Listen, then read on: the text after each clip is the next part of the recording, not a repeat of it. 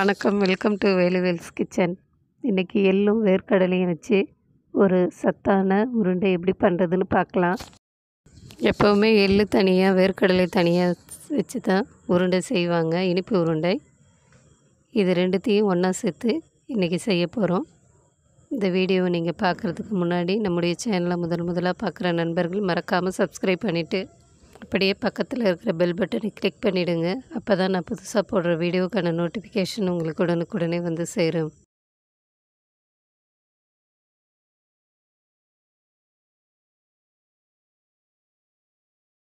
ஒரு பேனில்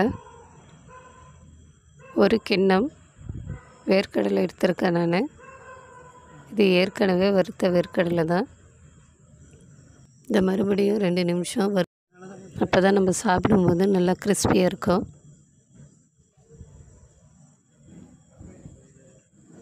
லேசாக வறுத்து எடுத்துக்கோங்க.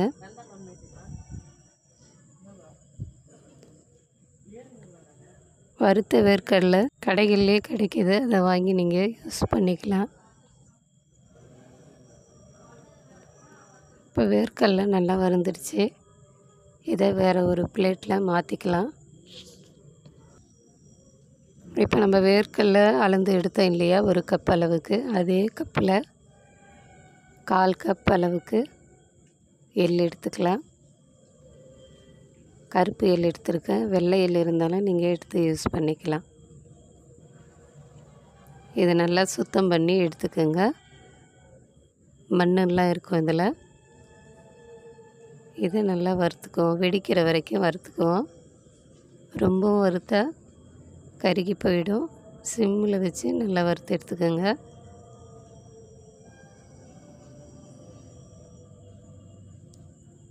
எள்ளு போட்ட உடனே வெடிக்கும் பாருங்கள் அந்த ஸ்டேஜில் எடுத்துருவோம். இப்போ எடு வெடிக்குது பார்த்திங்களா? ஸ்டவ் ஆஃப் பண்ணிவிட்டு எடுத்துருவோம்.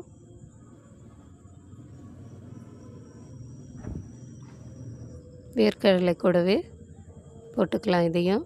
ஏன்னா ரெண்டுத்தையும் ஒன்றா போட்டு தான் நம்ம செய்ய போகிறோம் இப்போ வேறு ஒரு பாத்திரத்தில் எந்த கப்பில் வேர்க்கடல அளந்து எடுத்தோமோ அதில் ஒரு கப் வெல்லம் எடுத்துக்கிறேன். நீங்கள் முக்கால் கப் அளவு கூட போட்டுக்கலாம்.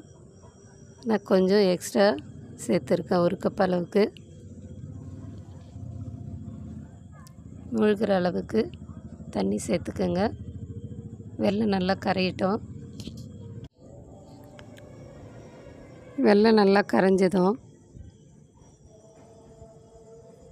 வேறொரு பாத்திரத்தில் நம்ம வடிகட்டி எடுத்துக்க போகிறோம் ஏன்னா வெள்ளத்தில் மண் தூசி எல்லாம் இருக்கும். அதனால் வடிகட்டி எடுத்துக்கோங்க வேற ஒரு பாத்திரத்தில். வெள்ளம் நல்லா கரைஞ்சிருச்சு. ஒரு நான்ஸ்டிக் பேனில் நான் வடிகட்டி எடுத்து வச்சுருக்கேன் வெள்ளத்தை. இதை ஹை ஃப்ளேமில் வச்சு நல்லா கொதிக்க விடுங்க. பாகு பதம் வர வரைக்கும்.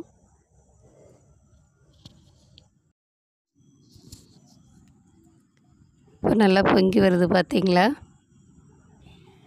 இன்னும் நல்லா கொதிக்கணும். நம்ம அதுக்குள்ளே ஒரு கிண்ணத்தில் பாகு விட்டு செக் பண்ணலாம். கரைஞ்சிருச்சு பார்த்தீங்களா இந்த மாதிரி கரையக்கூடாது இன்னும் நல்லா கொதிக்க விடுங்க. உங்களுக்கு பாகுப்பதம் வர்றது தெரியலனா சிம்மில் வச்சு பொறுமையாக செய்யலாம். கலந்து விட்டுக்கிட்டே இருங்க. இப்போ மறுபடியும் செக் பண்ணலாம். இன்னும் பாகுப்பதம் வரல. இப்போ பாகு நல்லா கொதிச்சிடுச்சு மறுபடியும் கிண்ணத்தில் விட்டு பார்க்கலாம். பாருங்கள் இப்படி எடுத்து இப்போ நம்ம உருட்டினா இந்த மாதிரி வரணும். உருண்டை பிடிக்கிற மாதிரி. இந்த ஸ்டேஜில் நம்ம ஏலக்காய் தூள் கொஞ்சமாக சேர்த்துக்கிறேன்.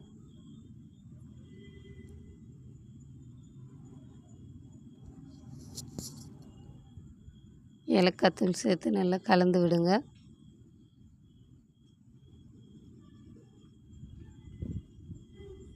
கலந்து விட்டு வேர்க்கடலையும் எள்ளும் எடுத்து வச்சுருக்கோம் இல்லையா நம்ம?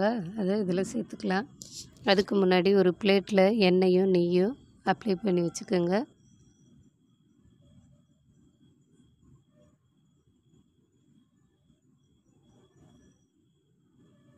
இப்போ நம்ம வேர்க்கடலையும் எள்ளையும் இதில் சேர்த்துக்கலாம்.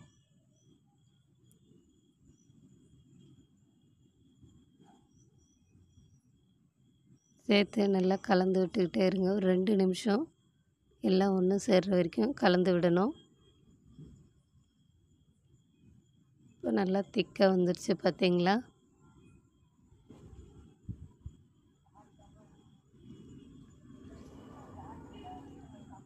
இந்த டைமில் எடுத்துருவோம்.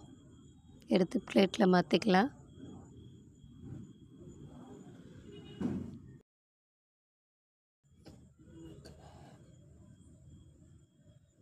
எல்லாத்தையும் பிளேட்டில் மாற்றிக்கோங்க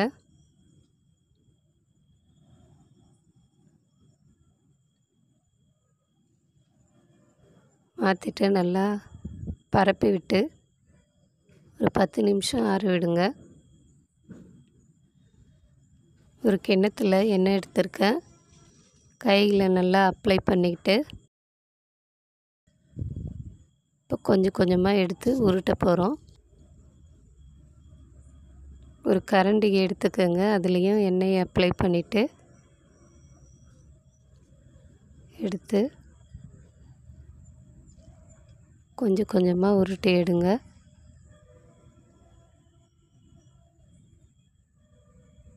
அவ்வளோதான் ரெடி ஆயிடுச்சு. நல்லா ஆறின பிறகு கெட்டியாகிடும் இது சாப்பிட்றதுக்கு ரொம்பவே டேஸ்டியாக இருக்கும். சத்தானதும் கூட குழந்தைங்க பெரியவங்க எல்லோரும் விரும்பி சாப்பிடுவாங்க.